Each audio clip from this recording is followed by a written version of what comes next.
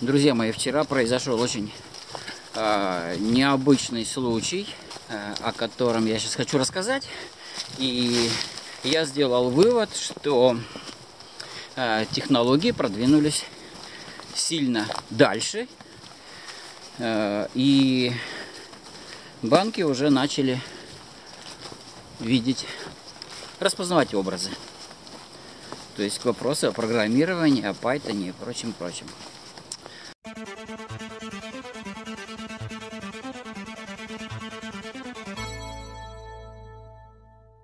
рассказываю. То есть, смотрите, сейчас, э, ну, я занялся лечением зубов опять, э, чтобы все было хорошо у меня, чтобы они не болели, пока есть возможность. И, ну, там вставляю импланты всякие и так далее. Это дорого. Поистратился. И, ну, там, жене поступили деньги на карточку Сбербанка. А, со Сбербанка переводил. У меня нет Сбербанка, а, поэтому на жену поступили. И я говорю жене, я говорю, давай пойдем снимем эти деньги, я переложу их в Тинькофф. Переводить со Сбербанка, вы знаете, это комиссия. А комиссии я не плачу. Жене было влом ехать до банкомата со мной. Она сказала, на, возьми мою карточку, вот тебе мой пин-код, снимешь деньги. Мы так делали раньше, в принципе, нормально. Логично.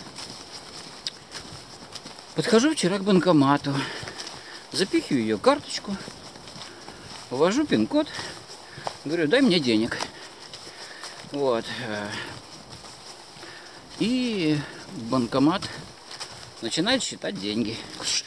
Там считает, считает, считает, считает деньги. Считает, считает, там считает деньги. А сам на меня, похоже, посматривает. Банкомат.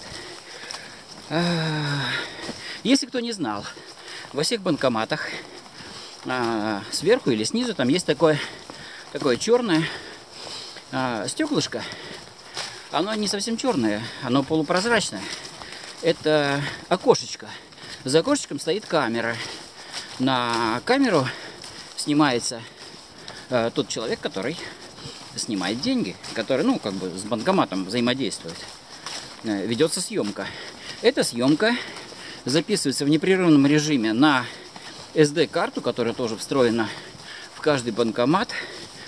И, соответственно, ну, там хранится. Она пишется по циклу, там, когда объемы заканчивается, значит, там стирается самая старая запись, начинается новая, но там хранятся записи про всех людей, которые взаимодействуют с банкоматом за последние там где-то месяц или две недели.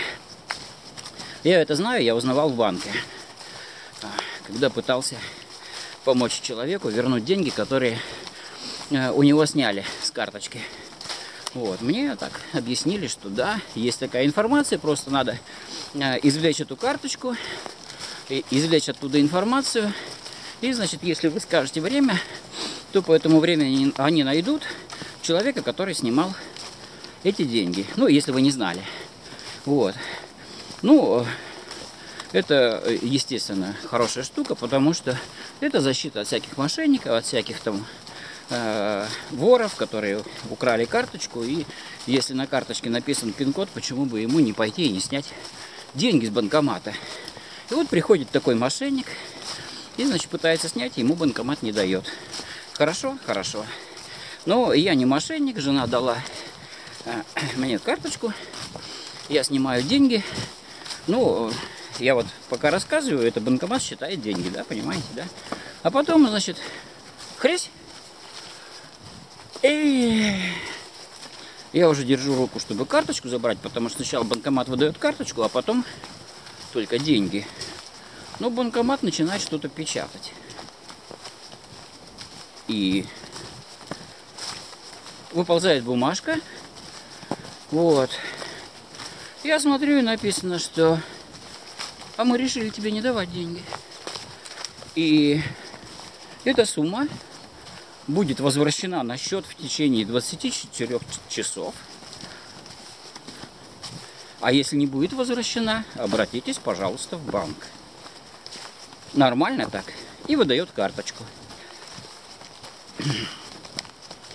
И какие у меня мысли? Ну, значит, мысли две. А, эти деньги поступили только накануне на счет жены.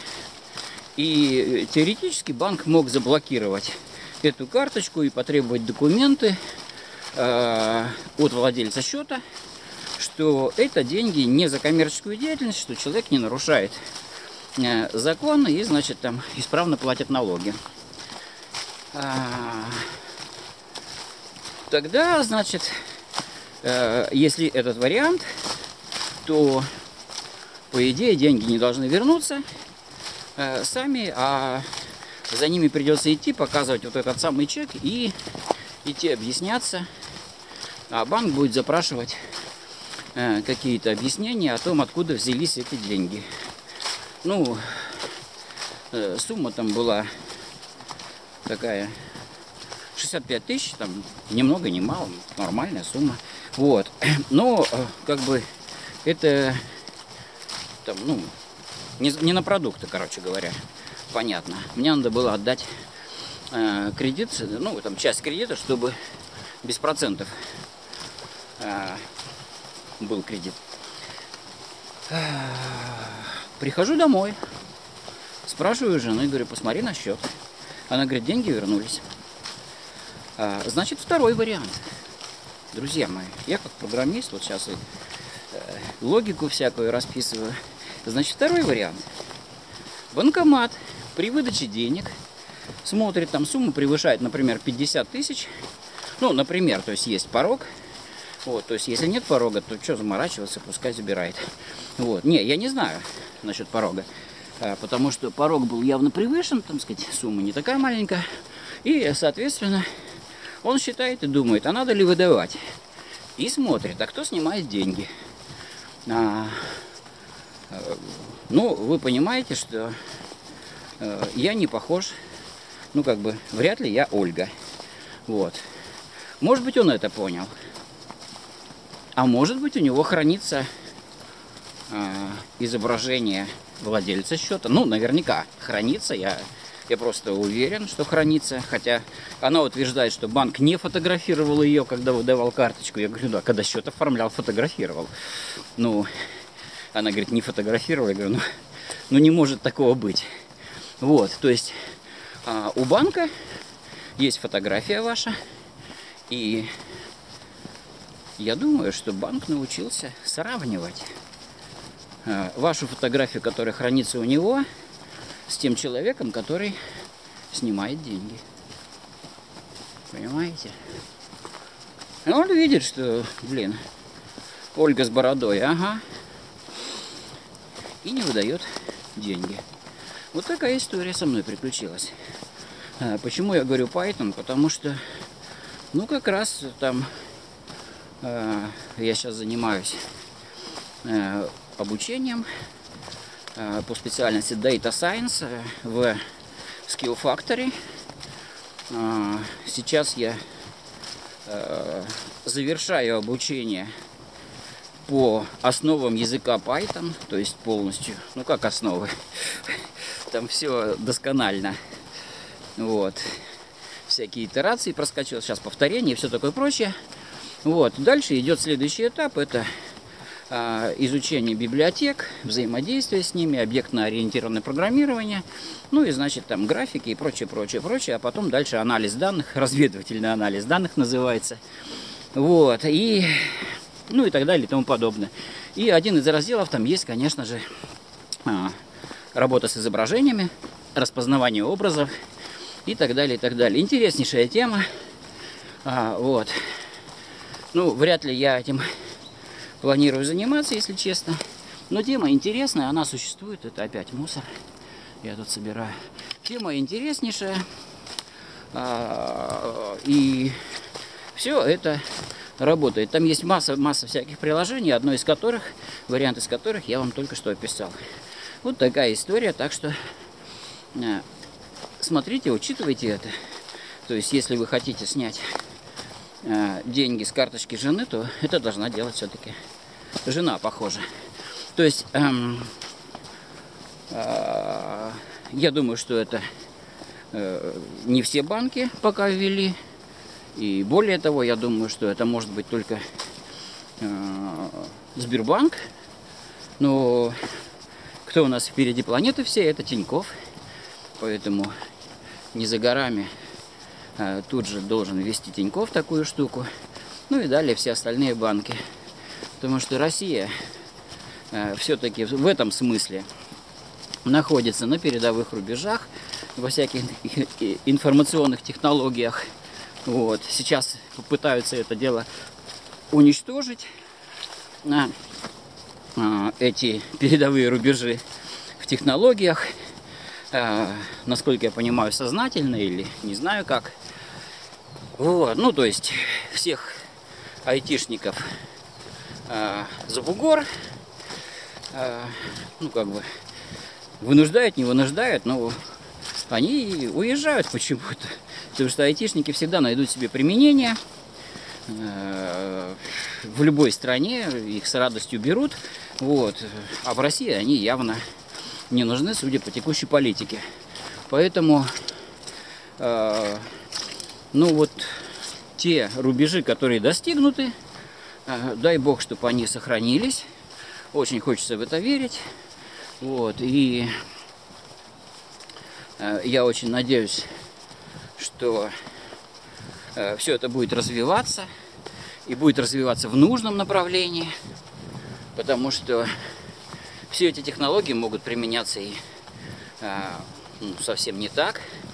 Тут э, прочитал опять же сообщение, что э, есть такая штука, там РГСУ, по-моему, да, вот, и там э, то ли ректор, ну не ректор, вряд ли, зав кафедрой, по-моему, РГСУ считает, что действительно нужно вводить социальные рейтинги, например, да? Что такое социальный рейтинг? Ну, это когда тебе присваивают э, рейтинг. Каждому человеку можно присвоить рейтинг э, о том, ну, как бы, насколько он сознательный человек. И она говорит, что да, я считаю, что это правильно, что это нормально. Вот, потому что а, ну, это касается избирательного права и всякой демократии.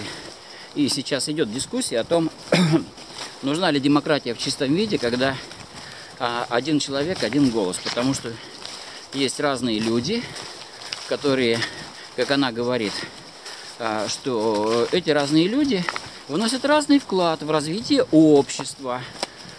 И поэтому те люди, которые Э, наибольший вклад в развитие общества, в развитие общества правильном направлении, значит, э, ну, в развитие, да, а не в регресс, э, то эти люди должны иметь больший вес при учете а, голосования. А те, кто, как она выразилась, а, сидит на засаленном диване, значит, смакует там какую-то фигню всякую с чипсами, ну и ни о чем не хочет думать, то э, как бы его голос э, либо не совсем не учитывать, либо, значит, один к 40, например, да, понимаете? Вот.